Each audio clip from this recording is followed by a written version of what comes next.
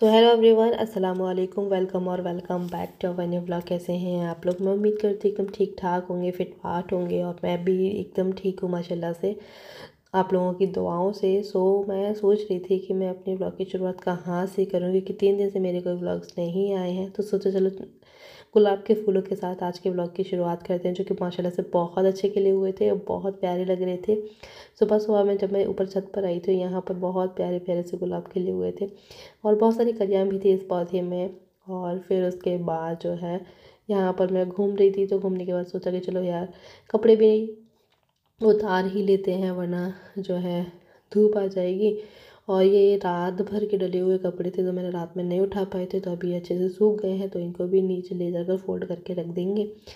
और बस अच्छा लग रहा है सुबह ही सुबह की जो मॉर्निंग है, अभी आप लोग देख ही सकते हैं मैं। और आज जुमा भी है तो ना, आज मैं सुबह ही सुबह में नहा ली अच्छे से रेडी होकर के, क्योंकि मुझे कहीं जाना भी था। तो इसलिए आज मैं सुबह ही मैं रेडी हो गई हूँ।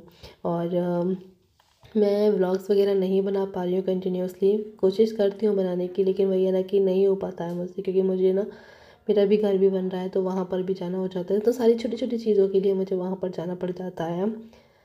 तो इसी चक्कर में जो है ना व्लॉग्स वगैरह भी शूट नहीं कर पा रही हूँ और ना ही आप लोगों तक पहुँचा पा रही हूँ। तो अभी आप लोग थोड़ा सा मैनेज कर देना जब मेरा घर बन जाएगा न्यू और फिर उसके बाद अच्छे अच्छे व्लॉग्स आप लोगों को मिलेंगे। ठीक है? तो बस इसी चक्कर में जो है ना, मेरे ब्लॉग्स नहीं आ पा रहे हैं। बहुत टाइम के बाद ब्लॉगिंग कर रही हूँ तो बड़ा ही अजीब सा लग रहा है। मतलब तीन दिन से मेरे कोई ब्लॉग नहीं आए हैं, मैंने मोबाइल नहीं उठाया है। तो आज जब उठा रही हो ना तो बड़ा ही अजीब सा लग रहा है मुझे ब्लॉगिंग करने में। सोच रही हूँ कैसे स्टार्ट करूँ, क्या करूँ। मतलब होता है ना कि जो काम हम लगातार करते आते हैं और फिर कुछ टाइम के लिए हम छोड़ देते हैं तो ऐसा लगता है कि भाई, कैसे स्टार्ट करेंगे अब, है ना? तो वही चीज़ें मेरे साथ में भी हो रही है।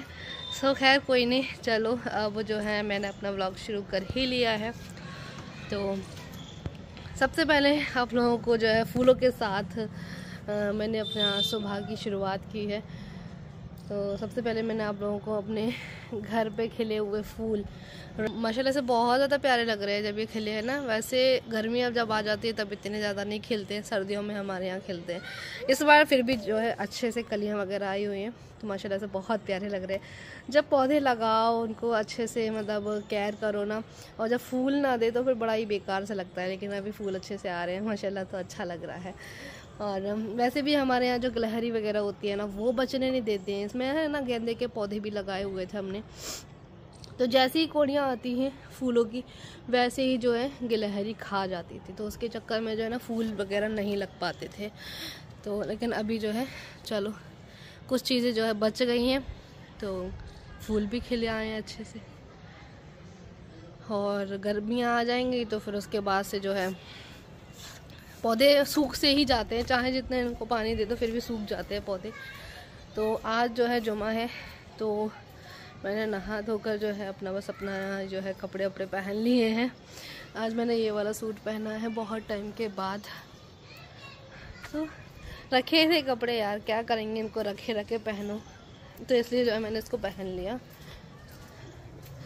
तो दिखाती हूँ आप लोगों को।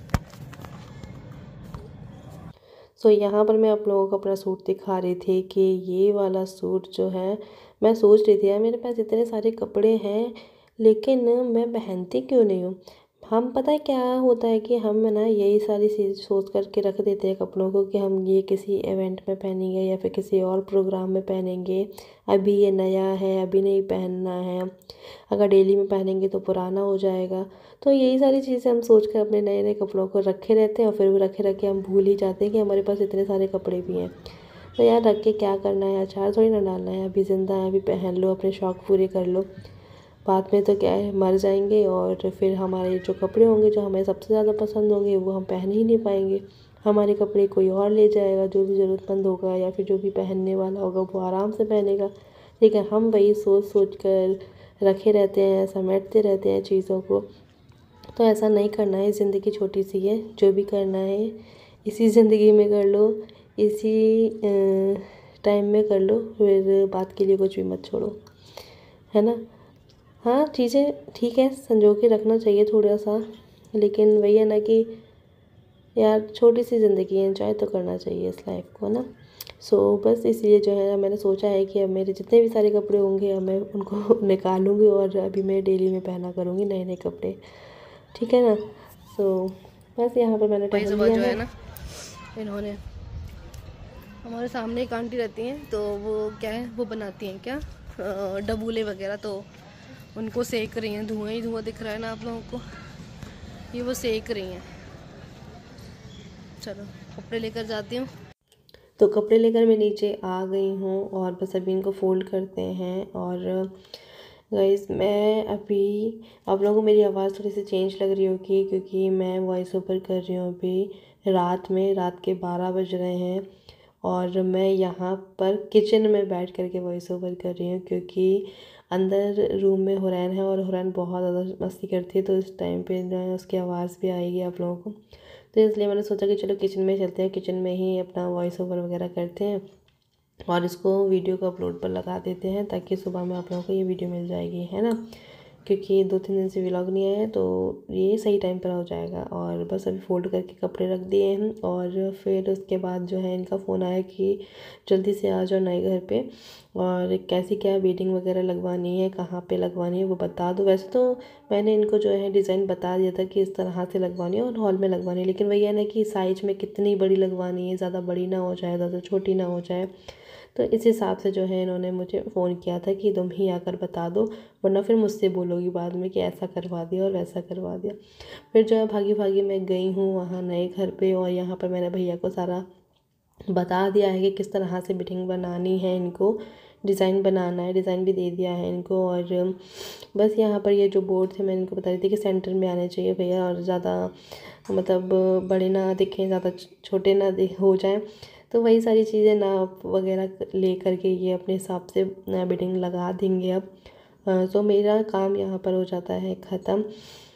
और गाइस साथ ही में जो है ना पेंट का भी काम चल रहा है तो ये जो है ना आ, मतलब बार बार से बार बार से मार्केट के लिए भागना पड़ता है। कभी ये कलर कभी वो कलर कभी कोई चीज़ कभी कोई चीज़ कभी केले लाने हैं कभी बिडिंग लानी है कभी मतलब बहुत सारी मेहनत हो जाती है ना घर बनाने में। जिसका भी बनता है ना, उसी को पता चलता है कि हाँ भाई कितनी मेहनत होती है घर बनाने में। और गाइस सच में बताऊँ तो आज ना मेरा मूड भी बहुत ज़्यादा ख़राब हो गया। जैसे ही मैं नए घर पे गई ना, वैसे ही मैं बस मूड पकड़ के बैठ गई हूँ। वो इसलिए क्योंकि मेरा आज हो गया बहुत बड़ा नुकसान। और ये पहली बार नहीं हुआ, ये दूसरी बार हुआ है इसलिए मुझे बहुत ज़्यादा गुस्सा आ रहा था। गुस्सा मुझे इस बात पे आ रहा था कि जो कलर मैं आप सॉरी जो कलर मैं उन भैया को बता कर गई थी पेंटर भैया को, कि ये कलर इस दीवार पे करना है, लेकिन वहाँ ना करते हुए उन्होंने दूसरी दीवार पर कर दिया। अब मुझे ना ये लग रहा है कि यार मैं क्या ही करूँ, मैंने इनको बताया था और वो पूरा कलर दस हज़ार रुपये का था, एक वॉल का, और ना इन्होंने पूरा ख़राब कर दिया।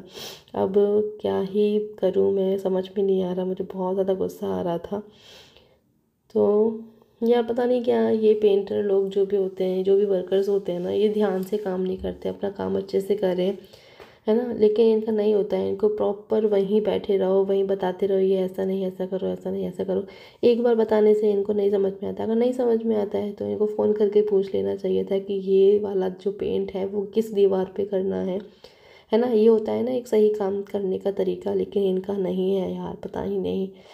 क्या ही बताऊँ मैं, इतना ज़्यादा मूड ख़राब है ना, मैं क्या क्या बोली जा रही हूँ, मेरे को नहीं समझ में आ रहा है। तो बस तो इसके चक्कर में जो है ना, मेरे से थोड़ी सी बहसबाजी भी हो गई पेंटर अंकल से और फिर उसके बाद जो है बस मैं घर के लिए निकल आई क्योंकि मेरे, मेरा मूड बहुत ज़्यादा ख़राब था। तो बस यहाँ पर आकर देखा तो बच्चे यहाँ पर खेल रहे थे और बच्चों को आते ही देखा ना तो इतना अच्छा सा मूड हो गया था मेरा, मैं सारी चीज़ें भूल गई कि क्या कुछ हुआ। और बस यहाँ पर बच्चे जब खेलते हैं ना तो माशाल्लाह से बहुत ज़्यादा प्यारे लगते हैं। मम्मी भी यहाँ इन्हीं के साथ में खेल रही थी। स्नोबा और गोल्डी भी थे हमारे दोनों ही। तो घर आते ही जो है ना, हमने मम्मी को सारी बातें बताई कि, मम्मी, ऐसा ऐसा हुआ है और आज तो बहुत बड़ा नुकसान हो गया। अगर ऐसे ही डेली डेली होता रहा ना तो ऐसे तो हम लुट ही जाएँगे यार। बहुत बड़ा नुकसान हो चुका है और ये दूसरी बार किया है उन्होंने। अब इसका भुगतान कौन करेगा? हमें ही भुगतना पड़ेगा ना?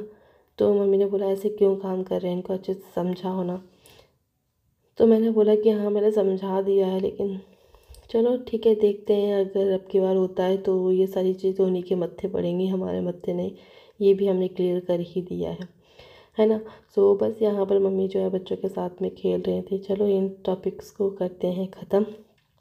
क्योंकि अभी मैं फिर से बात करूँगी तो फिर फिर से वही सारी चीज़ें याद आ जाती हैं मुझे कि यार ऐसा क्यों कर रहे हैं। अच्छा कुछ कुछ दुनिया में इंसान बहुत अच्छे भी हैं जो कि हर चीज़ की सलाह बहुत अच्छी देते हैं। जैसे कि हमारे जो, जिन्होंने हमारा घर बनाया वो अंकल हमारे लिए बहुत अच्छे थे और जिन्होंने भी, जितने लोगों ने भी काम किया है, जिन्होंने हमारे मॉड्यूलर किचन के जो बेस होता है वो कंप्लीट किया, वो भी बहुत अच्छे थे। तो कुछ लोग अच्छे होते हैं, लेकिन कुछ लोग जान बूझ कर चीज़ों को ख़राब करते हैं। अपनी, उनको ये नहीं पता होता है कि ये इस काम के लिए अपनी इमेज को ख़राब कर रहे हैं, उनकी इमेज भी ख़राब होती है, अगर ये ऐसा काम करेंगे तो दूसरी बार उनको कोई काम नहीं देगा, है ना? इसलिए काम जो भी अगर आप कर रहे हैं तो उसको दिल से करो, मन से करो तो इंसान सोचता है कि हाँ चलो ये बंदा बहुत अच्छा था, इसने बहुत अच्छा काम किया सेकेंड टाइम भी हम इसको ही बुलाएँगे अपने काम के लिए। तो इंसान ये नहीं सोचता है। चलो खैर, वो तो रहा उनका और बस आगे के लिए इंसान जो है होशियार हो जाता है। खैर, कोई नहीं और बस यहाँ पर अभी चल रही इन सब की मस्ती और मैं इस ब्लॉग का एंड यहीं कर रही हूँ। मिलूँगी फिर से एक नए ब्लॉग के साथ मैं। अल्लाह हाफिज़।